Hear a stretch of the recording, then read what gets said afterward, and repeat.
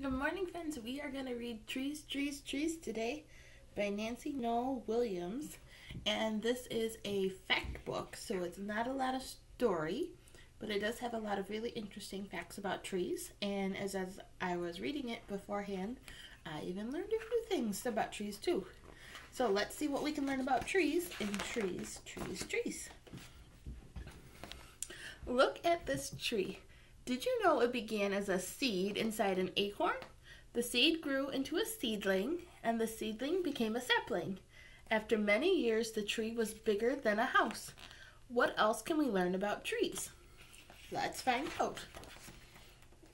First, did you know that trees have three main parts? They are the crown, the trunk, and the roots. The crown is made up of the leaves, branches, and twigs. Sunshine helps the leaves change water, and carbon dioxide into food for the tree. The woody stem of the tree is the trunk. Inside, water travels up through the wood to the leaves. Small roots take in the water and minerals from the soil. The bigger, stronger roots prevent soil from drifting away when hard rain or winds come.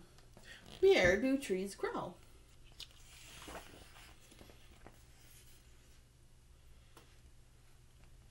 Trees grow anywhere there is soil, water, and sunlight.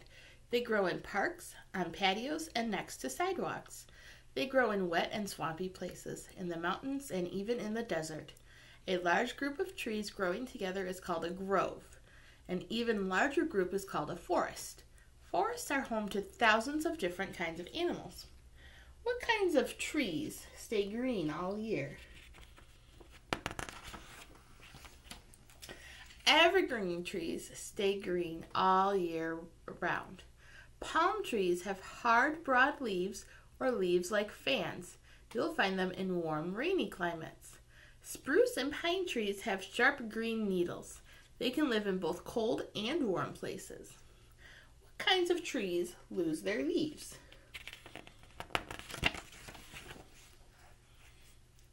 Deciduous trees shed their leaves each year. The leaves turn red, orange, or yellow before they fall off in autumn. Maples, elms, and oaks are deciduous. What food grows on trees? When you want a sweet snack, you can pick an apple, a cherry, or a peach from a tree. When you want a sour snack, choose a grapefruit or lemon. Crunchy walnuts and pecans are delicious too. What animals live in trees? Birds of all shapes and sizes build nests in the branches of trunks of trees. Squirrels dart in and out of knot holes. A mother raccoon keeps her babies safe in her den. If you are lucky, you might even see a frog hiding in the tree. What is the biggest kind of tree in the world? Giant sequoia trees are the largest trees in the world. They are the widest and nearly the tallest. Coast redwoods are taller. You may see them growing in the Sierra Nevada mountains in California. The General Sherman tree is the biggest tree on earth. It is 275 feet tall and is more than 2,000 years old. What do you call this tiny tree?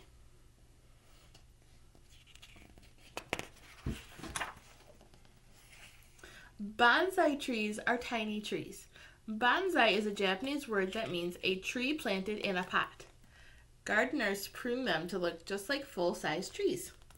How do we enjoy trees? During the summer, we can picnic in the shade beneath a tree. We can build a treehouse and pretend it's a pirate ship. We can swing on a rope from a high branch. On a cold winter day, we can build a snow fort around a favorite tree. We can collect pine cones and make an art project or hang a bird feeder from a branch. How can we learn the age of a tree?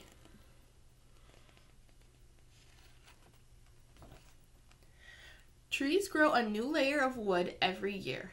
If there is a lot of sunshine and rainfall that year, the layer is wide. If it is a bad year, the layer is thin. When a tree falls, the layers look like rings. You can count the rings to see how old the tree is. We need to take good care of our trees. Without trees, the air wouldn't smell as sweet. We wouldn't have the delicious snacks they provide or the happiness we get from them all year. Trees give us so much, so when you have a chance, say thank you. Plant a new tree. The end. And this page is what's called a glossary. So it lists all of the fancy words we learned and what they mean.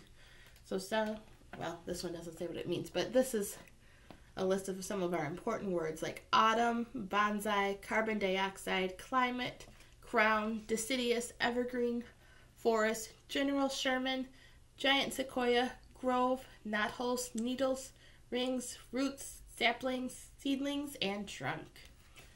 All right, I hope you guys learned something about trees, and I will see you guys on Monday.